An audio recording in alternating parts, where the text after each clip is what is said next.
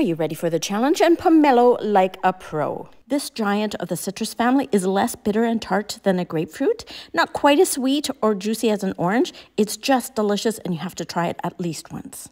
I admit it's a little more tricky to get into, but it's definitely worth it. Here's how to pomelo like a pro. Cut the top and the bottom off your pomelo, then uh, score it four to six times and remove the skin and its thick skin.